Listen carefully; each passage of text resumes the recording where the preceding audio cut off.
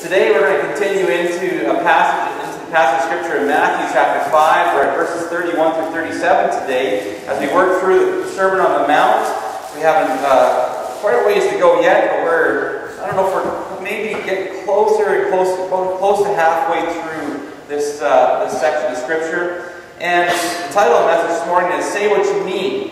How often do we make a vow and break it? Or how often do we say one thing and do a completely opposite thing? Or how often do we take on responsibility and then don't follow through? Or how often have we made a commitment to follow the Lord on Sunday? You know, we've come forward, we pray, we've, uh, or, we, or, or we've sang and we've heard the sermon and we say, I'm going to change my life. And then the next day, we seem to forget what we said we would do. Or we may even, maybe we don't even make it to the next day, and before we, uh, we get through that day, that Sunday, we break what we said to the Lord that we were going to do. Jesus tells us in a few uh, short verses that to look at this morning in our text that we should make, we shouldn't take or make promises because the follower of God should be as good as His Word. So not, not, you know, there's times we have to make vows. You know, we stand and to go to court, we have to make a, a promise, or we uh, stand before the people on our wedding day, and we say before God and these, these assembled witnesses, we're making a vow to one another, we're making a promise to one another. But Jesus is trying is going to make a point for us this morning is that, that as a believer in Jesus Christ, our, our word should be good. What we say we're going to do, we do. What we say, when we say yes, we mean yes. When we say no, we really do mean no.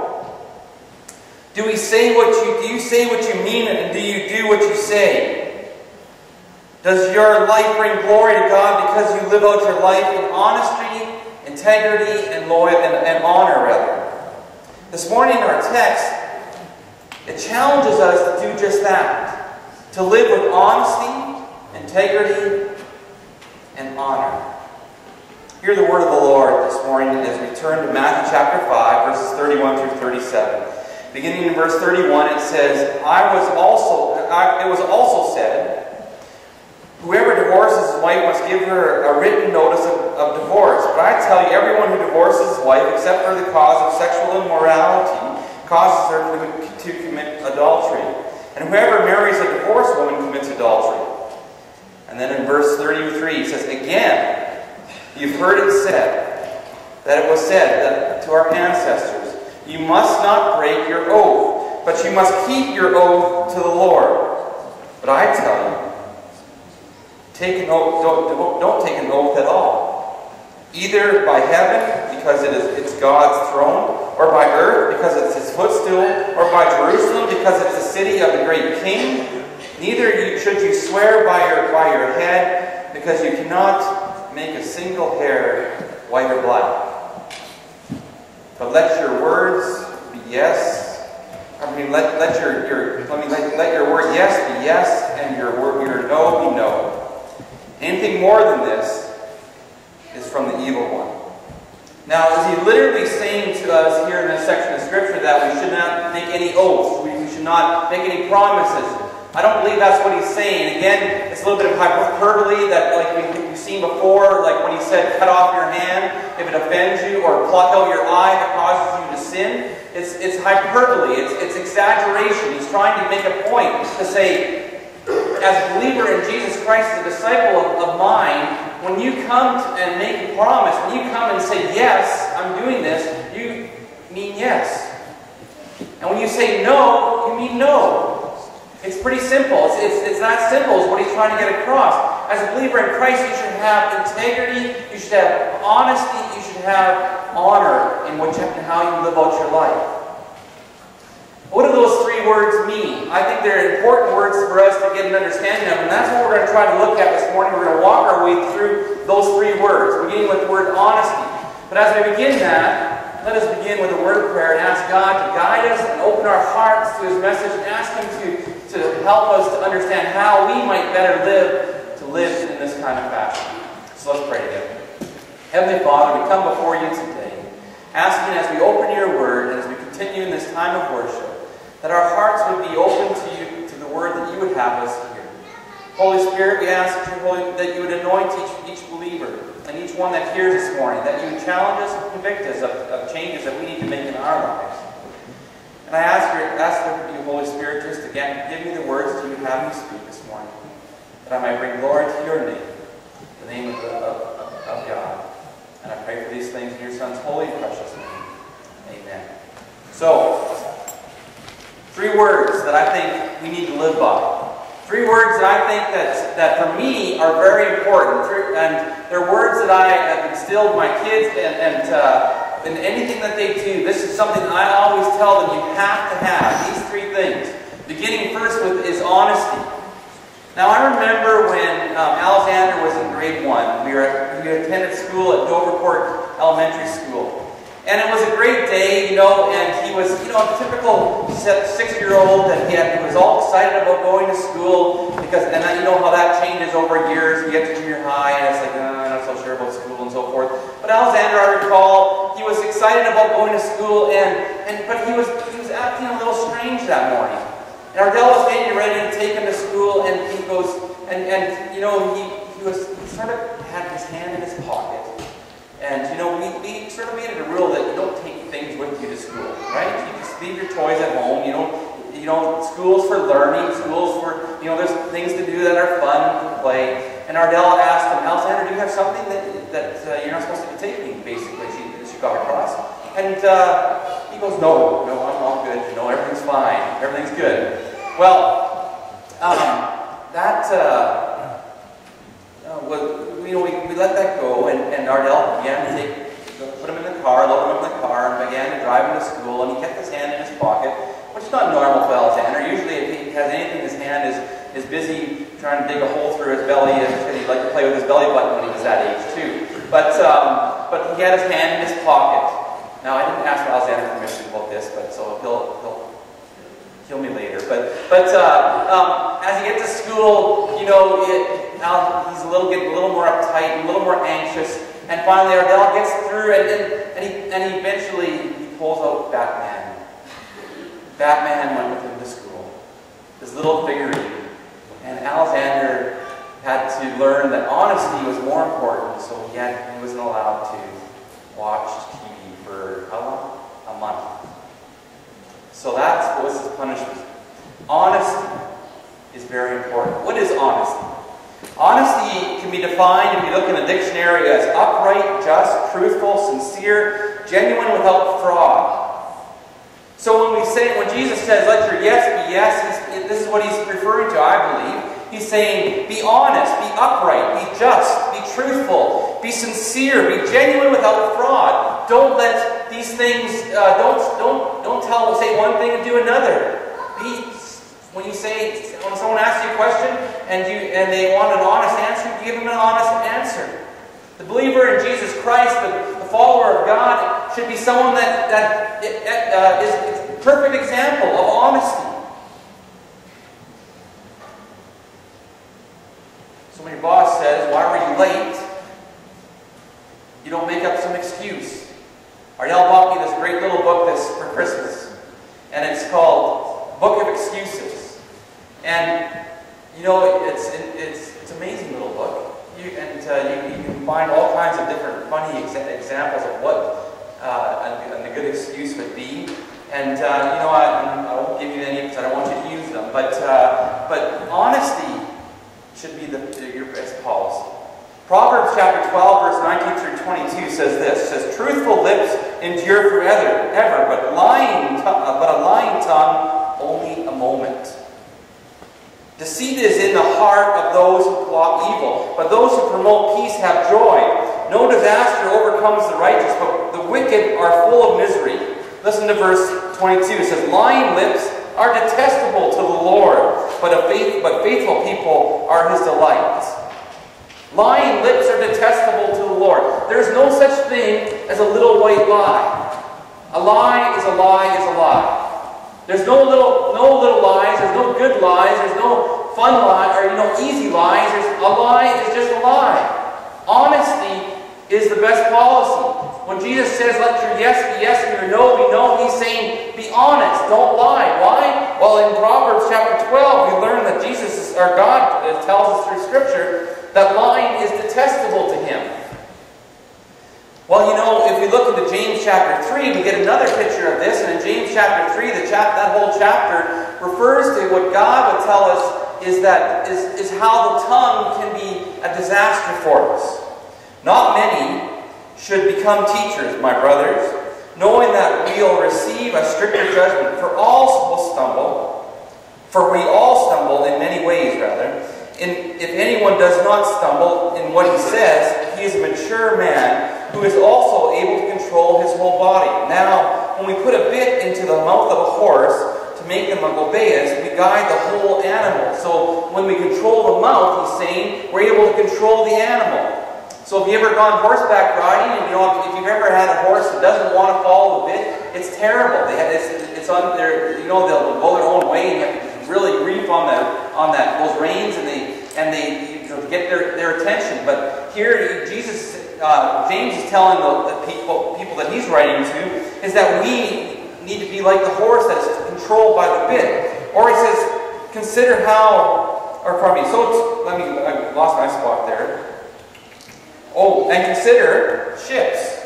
Though very large and driven by fierce winds, they are guided by a very small rudder wherever the will of the pilot directs. So just, you know, if you've seen some of the biggest ships, all they have is a small rudder that, that, that directs them, that controls them.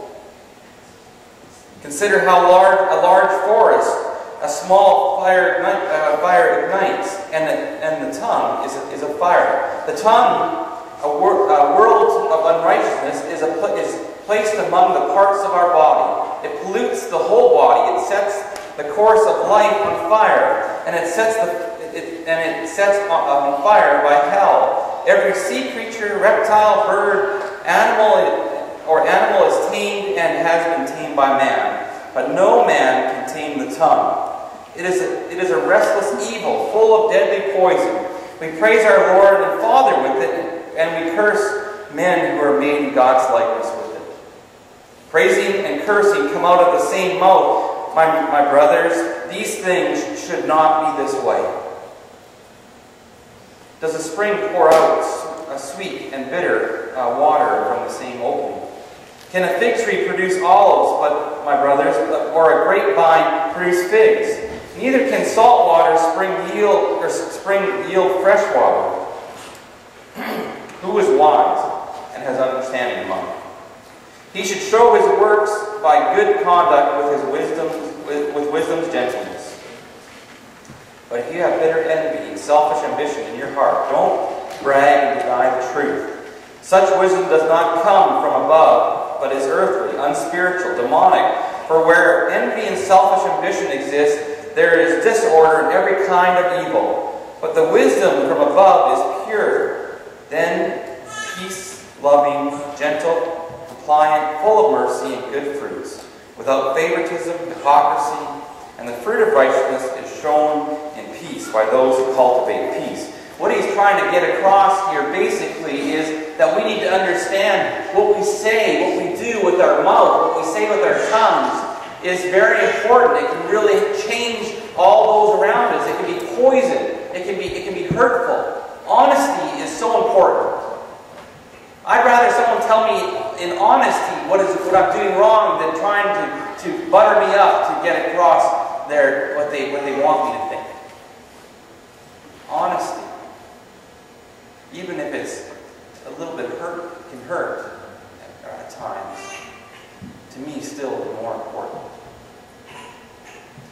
We go on to Proverbs chapter 17, verse 20 says, One with a twisted mind will not succeed. One with a deceitful speech will fall into ruin. Then we go to Zechariah chapter 8, verse 16 through 17. It says, These are the things you must, must do. Speak truth to one another. Make true and sound decisions with, within your gates. Do not plot evil in your hearts against your neighbor, and do not love perjury, for I hate all this. This is the Lord's declaration. So you see, in other words, what we're trying to get, what I'm trying to get across here is that God has no place for us to have lying in our, in our speech. Honesty is a must if we want to be a follower of God. Honesty is a must if we want to be His children. Ephesians chapter 4, verse 25 says, Put away lying, speak the truth, each one, one to his neighbor, because we are members of one another. So, in other words, we should have the courtesy to be honest and not lie to one another. Revelation chapter 22, verse 12 to 15, we read, Look, I'm coming quickly and my reward is with me to repay each person according to what he has done. I am the Alpha and the Omega, the first and the last, the beginning and the end. Blessed are those who wash their robes so that they may have the right to the tree of life and may enter the city by the gates. Listen to this, verse, last verse of, of Revelation chapter 22, verse 15 that I want you to pay attention to. This outside are, do, are the dogs, the sorcerers, the sexual immoral, the murderers, the adulterers, and everyone who loves and practices lying. So you say if you are if you don't you only tell little lies. Jesus in, in this passage of scripture here, this is Jesus speaking to, to his believers. He's telling us you're no different than a sorcerer, no different than a dog, no different than a sexual the sexual immoral, no different than the murderers, the adulterers those who follow after false gods. If you lie, that's who you're being placed with. Even the little lies. There's no such thing as a little lie, as we said. Well, let's go on. Living with integrity. So we're to live, live with honesty. Let's live with integrity as well. What's integrity? It's, integrity is uprightness, virtue, honesty. Integrity. If you don't have your integrity, you have nothing. Integrity is, is very important. I see this as a person who follows through and does what he, they say they will do. It's so important. Every time that we don't do what we say we're going to do, we lose that much more of people willing to hear us, to trust us, to follow after us. 2 Corinthians chapter 4, verse 2 says, Instead, we have renounced shameful secret things, not walking in deceit or distorting God's message, but commending ourselves to every person's conscience in God's sight by an open display of the truth. Integrity. In Job chapter 27, verse 1 through 5, Job continues his discourse saying, As God lives, who has deprived me of justice, and the Almighty who has made me bitter. As long as my breath is still in me, and the breath of God remains in my nostrils, my lips will not speak unjustly, and my tongue will not utter deceit. I will never affirm you, you that you are right. I will maintain my integrity until I die. If you hold on to anything in your life, hold on to your integrity. If you say and tell others that you go to church and that you are a believer in Jesus Christ, begin to live your life out so that that is so obvious that they wouldn't have to ask you that question. They would ask the question, why is your life so different? As in Job's situation, that he had to express to those that are around him who said, Job, just curse God and die. Job, just give up because your family's gone, all your possessions are gone, you have these sores, your body is sick, you are, you, your, your life is miserable. Just curse God and die. But, God, but Job's response is, as long as I have breath in my life, I will have the integrity to live as God has intended me to live. I will not give up on what God has called me, has called me to. I will not give up on God because God has not given up on me. I'll, I'll live because this is how God expects of what God expects of me. In Psalm chapter 26, he said, uh, David says, Vindicate me, Lord, because I have lived, lived with integrity and have trusted in the Lord without wavering. Test me, Lord, and try me. Examine my heart and mind, for your faithful love is before my eyes, and I live by, by your truth. I do not sit with the worthless or associate with hypocrites. I hate a crowd of evildoers. I do not sit with the wicked. I wash my hands in innocence and go around your altar, Lord, raising my voice in thanksgiving and telling of your wonderful works. Lord, I love the house where you dwell, the place where your, your glories reside. Do not destroy me along with the sinners or my life along with, with men of bloodshed in whose hands are evil schemes, and whose right hands are filled with bribes. But I live with integrity. Hear that. I live with integrity. Redeem me and be gracious to me. My foot stands on level ground. I'll praise the Lord in the assembly. David is saying, even with all that I've faced, even with all that I've endured, I'm going to live with integrity. No matter what men might do to me, no matter what men have said about me, no matter what they tried to do to me by, by killing me, by, by turning their back on me, I'm going to live with integrity. I'm going to bring my praise to God. I'm going to lift my voice to the Lord God who, is, who, is, who has raised me up, who has freed me, who has cared for me. Integrity. You see, even in the face of, of difficulty, love God. When we lived in Saskatoon, we left there at the, probably the bottom of my life to this point, I can say. I was so sad. My heart was so broken. But I think I had integrity. That I knew God still loved me. And I would not turn my back on him. No matter what you face, God loves you. Have integrity and follow the Lord. Don't be like those who are so quick to turn and go another direction. Trust God. Even when things seem so difficult, it seems like the world is just against you, that, that nobody around you cares, nobody around you loves you, nobody around you is there to help you, God loves you. Have integrity and show Him that you trust Him. Let your yes be yes and your no be no. And when we put these all together, what we're really talking about is living with honor. So we live with, with uh, honesty, we live with integrity, and when we put those together, that means that we live with honor. Definition of that word, word is respectful regard, respectful regard, high esteem, uprightness, and listen to this, honesty and integrity is the definition. You see, if you can do that, not only do you bring regard to yourself, and people say, there is something different about him or her. Because of your life and following after God, regardless of what you experience, you bring honor also to God. Glory to his name.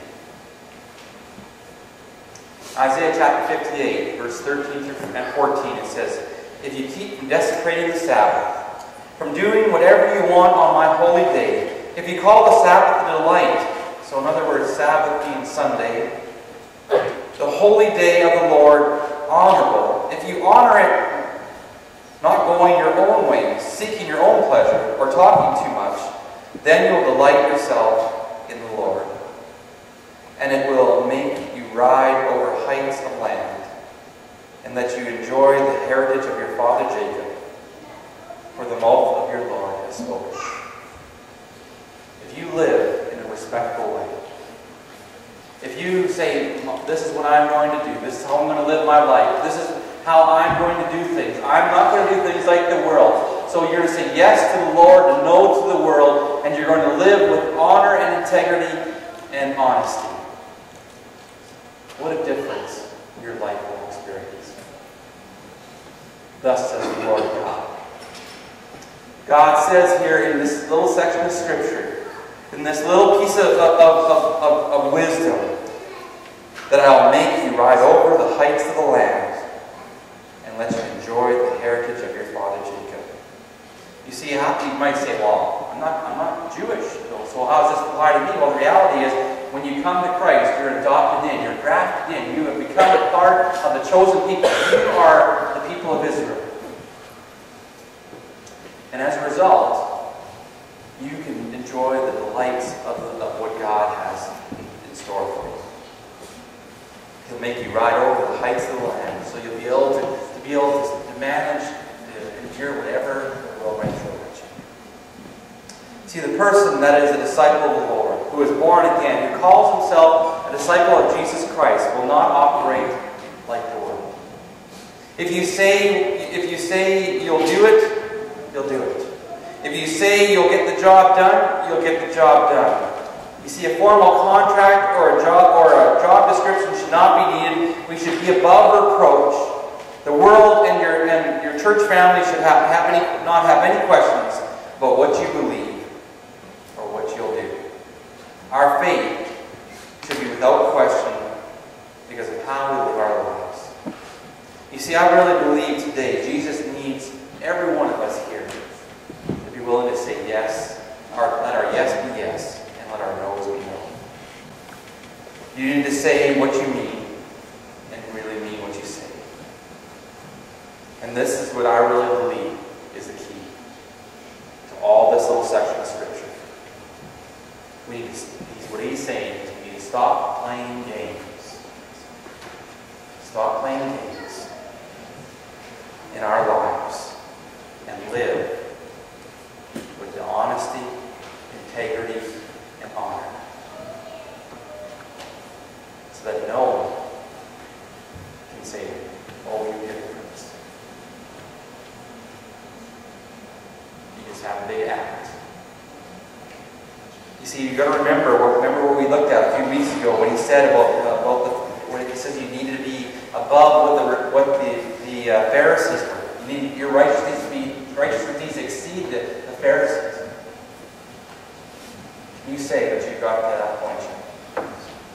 Only let God show you what you need to do in your life. Will you allow today the Holy Spirit to convict you of what you need, adjustments you need to make?